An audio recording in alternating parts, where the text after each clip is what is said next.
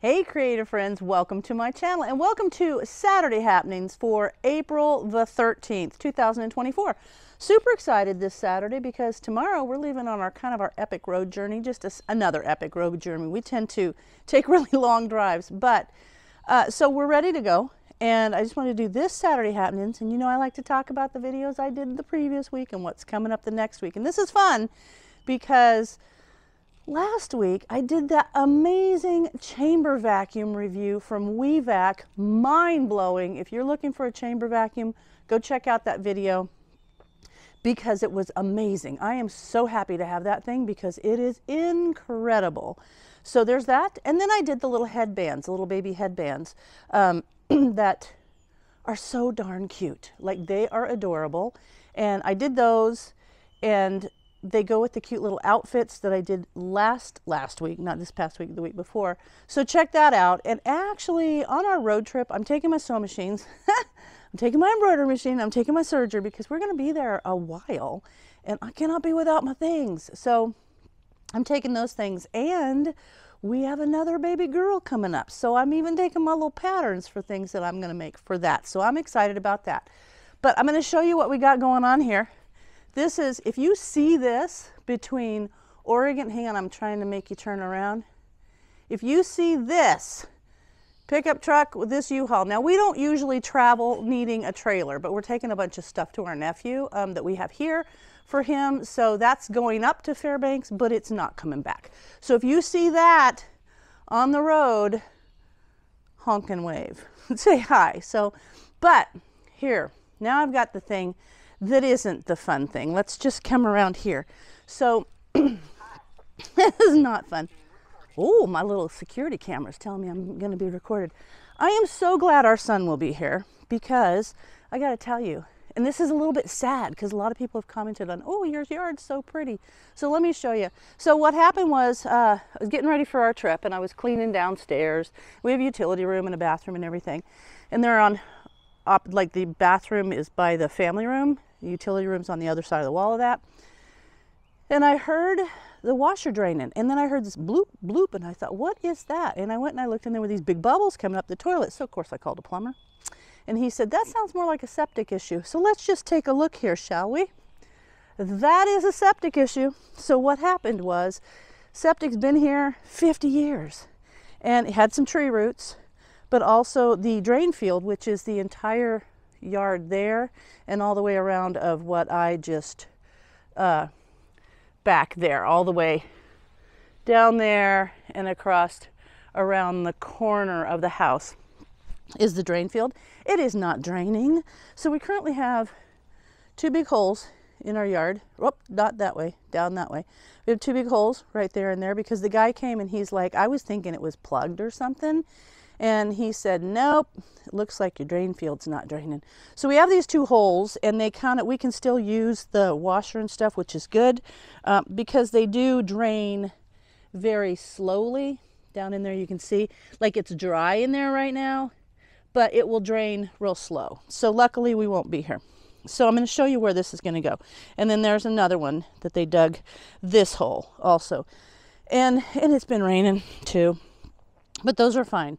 So what they're going to do, I was hoping they have to lay a whole new drain field, which is going to kind of be not fun. But I was hoping that they would be able to replace it down here. Like there's two lines that go there, and then there's two lines. That's just, this is the, this is what we laid across here. So when it rains, it goes down the front over there of our property and it doesn't, uh, so you can see how it drains out there down the hill, which is fine. That's just rainwater. But anyway, I was hoping it could come around here where the old drain field is. And they said, nope, probably not because for some reason this is not draining properly. So new drain field. So I'm going to take you up here and we're going to go this is like the west side of our house. So let's go up here and I'll show you what we had to do to our pretty yard, which, uh, you know what, maybe it was time to change things up. I don't know. So up these little stairs on the side, let me turn you around. I mean, if you're even interested, but he's talking about having to put a holding tank here, like they'll pump it up from the septic in the front to a holding tank right here. and then run the lines down our backyard. This is just like the yard yard back there is just all woods way way back there. That's just all woods. But he's thinking we'll have to put some holding tank here we'll pump up from the front and then have two big lines go along here. Of course they'll move the picnic table. But you know my arbor it was kind of needing to be replaced anyway. But yesterday brian and i took out all the ties around here so they don't have to worry about that and if they need that, and then we marked this white line where the uh, water line comes into the house, and that is just gonna have to get pushed over. Our son said he can take care of that. We just want to leave it up right now for the bird feeders. But then, if you saw my chicken coop video, I've had to take out this raised bed because you know he said by foot it's going to have to come all the way from down there all the way down here and hopefully it will be long enough that they'll only have to go this far. Otherwise, we will have to arrange for someone to come and take all of that out, which would be very sad. So sad. But all my little my little uh, flower beds or my little garden beds that were up, I put them up there. Um, I just put them up there for now, but the little things that were here, like I would plant in, but very sad, but you know what? What are you going to do? It, the way life sometimes hits you. Luckily, our son will be here. Luckily, we can do everything through email and stuff. And, you know, they build houses for people that are in different states. So I'm not worried about physically being here. Like, what am I going to do? I'm not going to come out here with a shovel and help them dig. But yesterday we signed the stuff for the DEQ and all of the permits, and we'll just have to see how that goes. So, um, so there's my Saturday happenings. But if you see that truck with that U-Haul heading from Oregon to Fairbanks, honk and wave, say hi. It's going to be a good trip. So I talked about the videos I did last week. The videos coming up this week are going to be on the road, and I'm excited. We're leaving tomorrow morning. So today I'm cleaning the house. I got to go see Vi and then I am going to finish packing up the last things. But having the U-Haul is honestly pretty simple because I don't have to worry about anything in the back of the truck and it can lock, a little security. But that's that.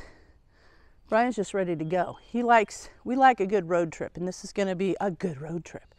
So I'm having fun thoughts about what a good time we're gonna have and I will bring you along with us. So I hope you guys watch. I hope it's fun. And if there's anything we're gonna drive by that you've been there and you think we need to stop and see it, send me a message, let me know in the comments or something, because I want to see all the stuff, either on the way up there or on the way back.